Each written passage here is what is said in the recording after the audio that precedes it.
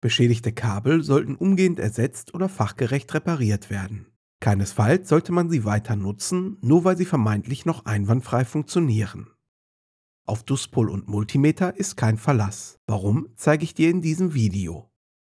Hier habe ich exemplarisch eine angebohrte Mantelleitung herausgesucht. Bei genauerer Betrachtung ist bereits das blanke Kupfer zu sehen.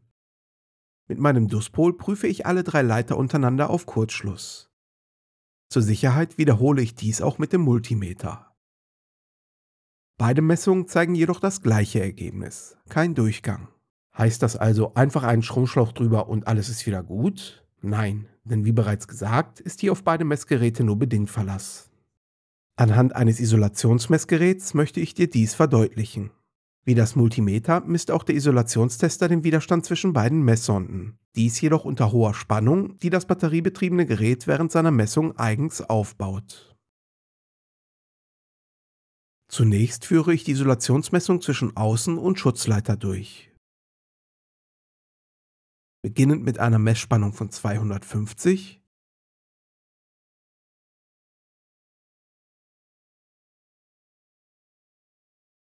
500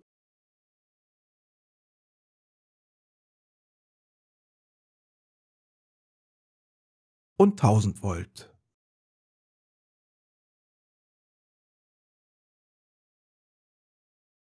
Hier scheint alles in Ordnung zu sein.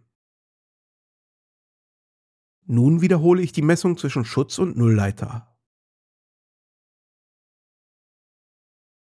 Bei 250 Volt ist das Messergebnis noch unauffällig. Erhöhe ich auf 500 Volt, fängt die Widerstandsanzeige an zu springen.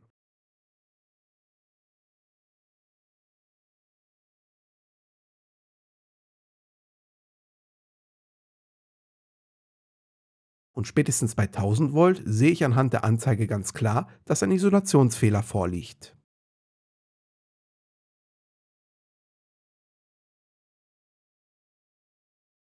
Was das nun genau bedeutet, möchte ich dir anhand eines weiteren präparierten Kabels verdeutlichen.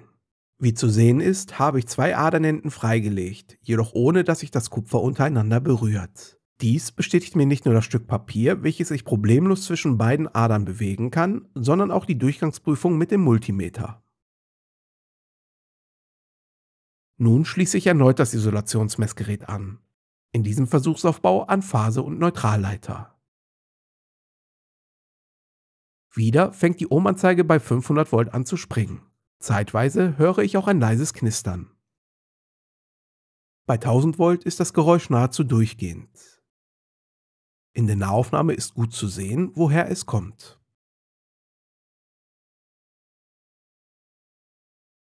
Es liegt auf der Hand, dass ein solcher Lichtbogen aufgrund einer defekten Isolierung zwischen Außen- und Neutralleiter zum Brand führen kann. Daher solltest du dich bei einem beschädigten Stromkabel nicht auf die Durchgangsprüfung mit dem Duspol oder einem herkömmlichen Multimeter verlassen, sondern es, wie bereits eingangs erwähnt, immer ersetzen oder zumindest fachgerecht reparieren lassen. Das in dem Video verwendete Isolationsmessgerät habe ich dir übrigens in der Videobeschreibung verlinkt. Beachte jedoch, dass es kein Profi-Gerät ist. Für meinen gewöhnlichen Anwendungsfall, die Prüfung neuer China-Elektronik auf Isolationsfehler, genügt es mir jedoch allemal.